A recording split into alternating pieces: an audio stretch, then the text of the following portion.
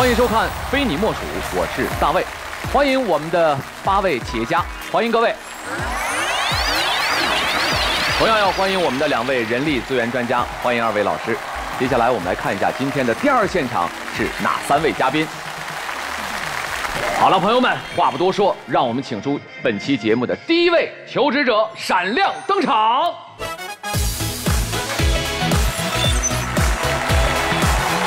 毕刚，三十三岁，高中学历。主持人好，各位企业家好，我叫毕刚，来自重庆，现在是一名广场舞老师，主要从事广场舞的教学和编排，也是自己的一个爱好，让我坚持到现在已经有十九年的时间了。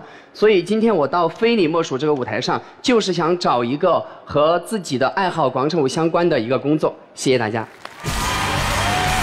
欢迎你，毕刚。谢谢。你今年三十三岁，对你做了十九年的广场舞对教练，对你十四岁就开始跳广场舞，对，十四岁的时候，那个时候我还在上初中，就已经开始跳广场舞了。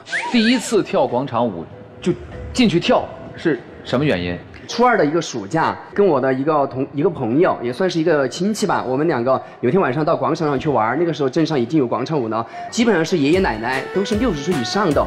我当时觉得，哎，跳舞还可以这种形式出现嘛，因为我们那边接触不到舞蹈。你是第一次见，哎哎，第一次就很喜欢，很吸引我的感觉。当时还记得爷爷奶奶们跳的广场舞动作是什么呢？哎，然后什么甜蜜蜜，就这种很简单的，就是左右走的那种。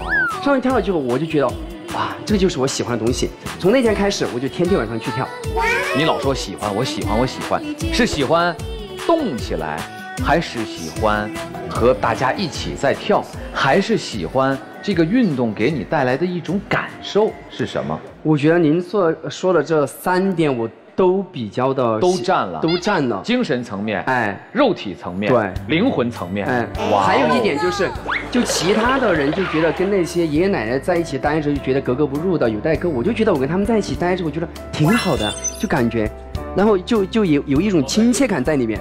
按理说，我这个年龄也到了跳广场舞的年龄，超了。但是我好像不喜欢，因为他就特别喜欢，这就是今天你在舞台上，真是萝卜白菜各有所爱。